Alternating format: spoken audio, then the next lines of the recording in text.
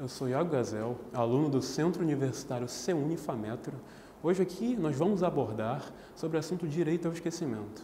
O direito ao esquecimento foi trazido do Brasil para o Brasil pela da Europa na sexta jornada do direito civil no enunciado 531, em que nós tivemos o conflito, especialmente no Brasil, entre o direito à personalidade e o direito à liberdade de imprensa.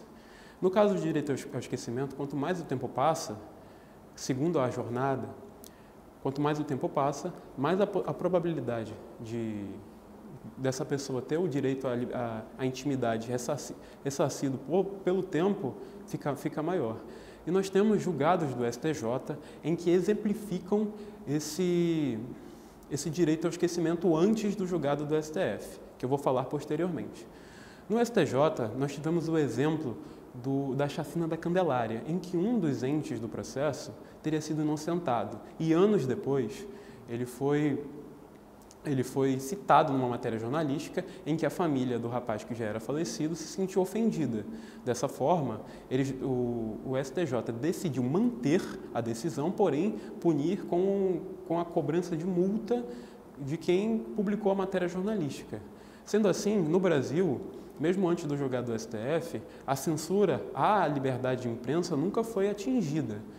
Então, nós temos em 2021, a matéria já foi tratada pelo Supremo Tribunal Federal, em que foi decidido o seguinte, em que o direito ao esquecimento ele é incompatível com a Constituição Federal, porque é, o direito da, de imprensa, o direito do, do público em, em, em ter as informações por mais que tenha um tempo, ele, ele prevalece perante o direito à intimidade.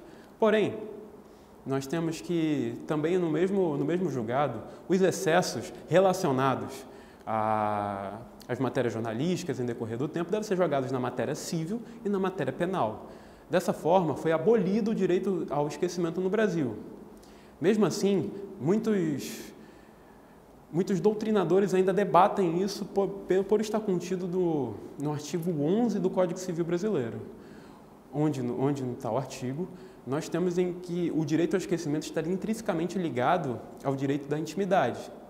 E dessa forma, o direito à intimidade prevaleceria com o decorrer do tempo ao direito do, da liberdade de imprensa e da liberdade de, de, de conteúdo.